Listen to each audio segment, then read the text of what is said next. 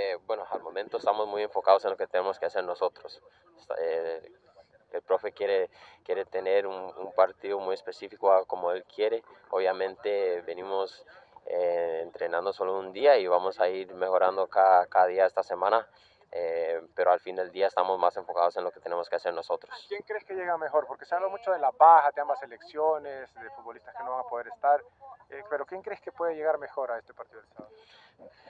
Bueno, decirle la verdad, eso la verdad no, no siento que, que va a eh, influir tanto. Yo creo que, que, el partido del sábado va a ser un partido muy cerrado, que, que los dos equipos van a querer salir y, impresionar y van a querer sacar un buen resultado, entonces va a ser un partido muy cerrado.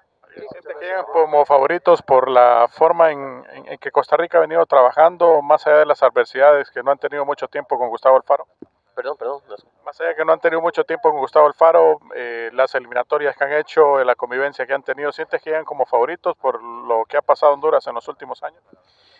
Bueno, no, la verdad, la verdad no. Como, como dije antes, estamos eh, enfocados en lo que tenemos que hacer nosotros. Eh, lo que quiere el profe, él está muy claro en, en cómo que quiere manejar el, el, grupo con y sin la pelota.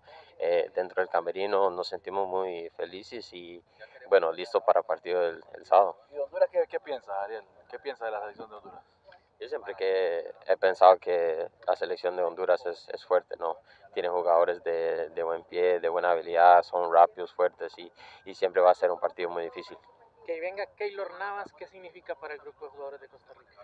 Bueno, yo, yo siento que, que trae un, eh, primero un respeto para él en todo lo que él ha hecho y en, en, su carrera y también nos da mucha confianza para nosotros de saber que tenemos eh, el mejor portero del mundo en, en nuestra, nuestro marco.